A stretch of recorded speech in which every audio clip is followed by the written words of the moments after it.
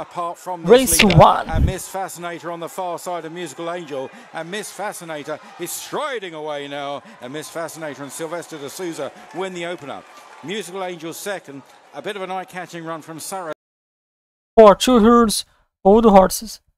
Number four, Miss Fascinator, old three and fourth. Number five, Musical Angel, old four and second. Number seven, with four and third. Number six, old three and fourth. Number two, old nine, one and fifth.